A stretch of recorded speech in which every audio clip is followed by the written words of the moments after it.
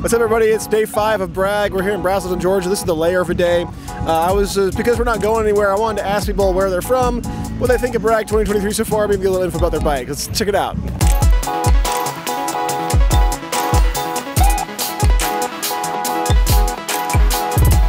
Uh, Dallas, Texas, and we wanted another across the state uh, ride, and BRAG uh, showed up, so that's what we uh, decided to do. Wilmington, Delaware. What about it? It's yeah, it's fine. It's great. The big problem is everything's so spread out. from South Georgia, Moultrie. We got a Balachi and Sandy has a Cannondale. All right. Was there anything special about this bike you like? Good price.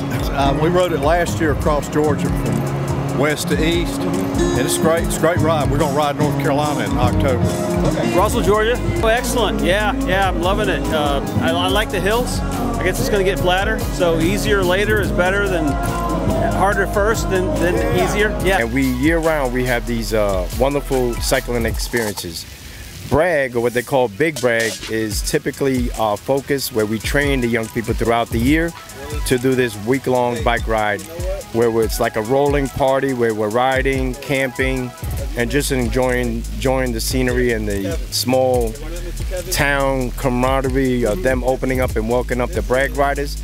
The Dream Team is kind of the youth component of that, where we've been cycling with BRAG since 1994, and we're getting ready to celebrate our 30th anniversary next year. We provide bikes, helmet, training, uniforms, kits, jerseys, and if the young person, first time brag rider, if the young person completes brag they get to take home a brand new bicycle.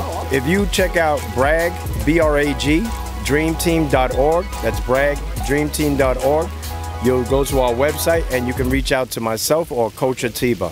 And we're based in Atlanta, so come by and visit us if you like to. from uh, Queens, New York City.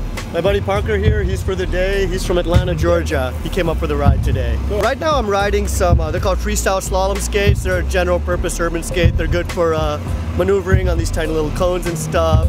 So more like an artistic front, more playful, more tricks and stuff on, the, on this kind of setup. BRAG has been awesome. It's my first BRAG. I've been having such a good time. It's super well organized. Everyone's so friendly. We're on our skates. We get a lot of questions. And, uh, you know, all the cyclists have been really good. The event director, uh, Franklin, he's been super open to having us be a part of this. So it's something we really appreciate. It's like the free lounging slug day or whatever, right? They get to do extra 40 miles for fun. Yeah. So I'm replacing Caleb because he kind of wimped out for the day. So they're like, we need, a, we need a replacement. So I showed up, smashed it for him.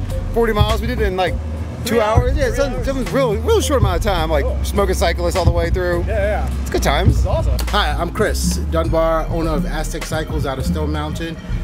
We are here facilitating service for a thousand bike riders riding across the state of Georgia. We basically are here servicing everybody's failures. Anybody that has a problem, and basically, we're in the middle of nowhere. There's no bicycle shop close by, so we basically trail behind everybody and service all their mechanical issues. Aztec Cycles is located in Stone Mountain, 901 Main Street. You can follow us on all of your platforms Facebook, Aztec Cycles, IG, Aztec Cycles. Come and see us. I am Franklin Johnson, the executive director of the Bicycle Ride Across Georgia. Um, real title should be firefighter because I just we got all the right people in place to handle everything, but every every once in a while a fire comes up, I got to put out. Better than all my expectations. Weather has been phenomenal. Routes are amazing, and everyone is staying very positive and enjoying themselves. Mean, the cycling community is a great community, so uh, we're all taking care of each other and, and getting by as we can.